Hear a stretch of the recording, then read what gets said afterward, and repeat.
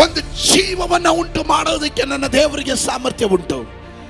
ಹಾಗಾದ್ರೆ ಈ ತಿಂಗಳು ನೀವು ಕೈ ಹಚ್ಚುವ ಕೆಲಸ ಕಾರ್ಯಗಳಲ್ಲಿ, ಹೋಗುವ ಆಫೀಸಿನಲ್ಲಿ, ಕಲಿಯುವ, ಹಾ ಕಮಾನ್ ಹಾಲೆಲೂಯ್ಯ ನೀವು ಹೋಗುವಂತ ವಿದ್ಯಾಭ್ಯಾಸದ ರಂಗದಲ್ಲಿ ಕಾಲೇಜಿಗಾಗಬಹುದು ಶಾಲೆಗಾಗಲಿ, ನಿಮ್ಮ ಮಕ್ಕಳು ಕಳೆದ ಅನೇಕ ವರ್ಷಗಳಲ್ಲಿ ಸಾಧಿಸಲಿಕ್ಕೆ ಆಗದೆ ಇದ್ದದ್ದು, ಇವರು ಇನ್ನ ಹೆಚ್ಚಿನ ವಿದ್ಯಾಭ್ಯಾಸ ಮಾಡಲಿಕ್ಕೆ ಆಗೋದಿಲ್ಲ ಅಂತ ಹೇಳಿದ ಸಂದರ್ಭದಲ್ಲಿ ನಿಮ್ಮ ಮಕ್ಕಳ ಜೀವನದಲ್ಲಿ ದೇವರ ಒಂದು ಅತಿಶಯವಾದ ಫೇವರ್ ಬರಲಿಕ್ಕೆ ಹೋಗುವಂಥದ್ದಾಗಿದೆ.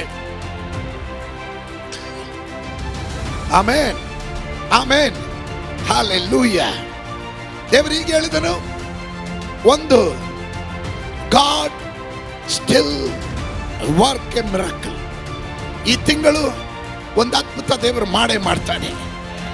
ಎರಡು ಉ- ಆ ಆ ಗರ್ಭದಿಂದಲೇ ಯಾವ ರೀತಿಯಲ್ಲಿ ಯೋಸೆಫರು ಹೊರಗಡೆ ಬಂದನೋ, ಅದೇ ರೀತಿಯಲ್ಲಿ ಜೀವ ಇಲ್ಲದೆ ಇರುವ ಅವಸ್ಥೆಗಳಲ್ಲಿ ದೇವರು ಜೀವಂತ ಸಾಕ್ಷಿಯಾಗಿ ಕೆಲವೊಂದನ್ನ ನಿಮಗಾಗಿ ಎಪ್ಪಿಸುವ ತಿಂಗಳಾಗಿರುತ್ತೆ. ಅಲ್ಲಿಂದ ಒಂದು ಜೀವವನ್ನು ಹೊರಗಡೆ ತರ್ತಾನೆ. ಮೂರು ದೇವರು ಹೇಳಿದರು ಕೆಲವರ ಪ್ರಾರ್ಥನೆ ವರ್ಷಗಳಿಂದ ಮಾಡಿದ ಪ್ರಾರ್ಥನೆಗೆ